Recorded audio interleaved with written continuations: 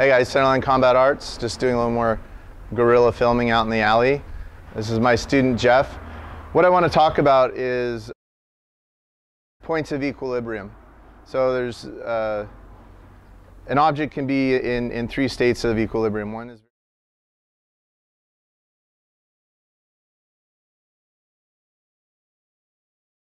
equilibrium. One is very stable. One is, is neutral where, uh, you know, when force acts upon it, it's going to move uh, relative to that force, and then one where there's uh, unstable equilibrium. If you imagine trying to balance like one marble on top of another, any force makes it fall over. So I'm just going to have Jeff get in Bikma, okay, give me a good Lansao. So from this position, he's very strong. Go ahead and sink. He's very strong, it's hard to move him. Now I could use my athleticism and my power and drive straight through. So that's, that's one way to perform Wing Chun. Okay, that's, that's one way that uh, we have the opportunity. We can produce uh, enough force to drive through and uh, basically break his alignment and knock him over.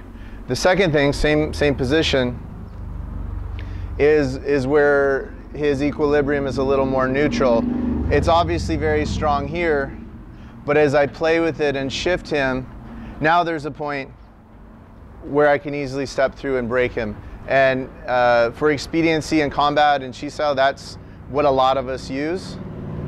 We're working with an opponent or a partner, and we find a position not where they're uh, completely stable, nor where they're just going to fall over under pressure, and we move through them or we press them. And that, uh, that happens a lot. But that third state, that, that very unbalanced equilibrium, is, is something that we can play with. And sometimes we have to start playing slow but then once we find it, we can really uh, start to take advantage of it in application. So he's going to take the same position.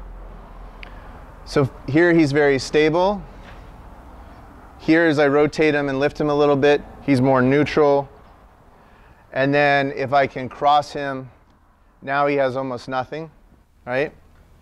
If I draw him forward a little bit and twist him, there's nothing there. Or if I elevate and twist, See, so in four directions I can find that place of, of no equilibrium where he, he can't balance himself out. Uh, now unlike a marble, which is completely round and will roll around, the body has certain areas where if I move directly into him or try to push him to the side, he's very strong.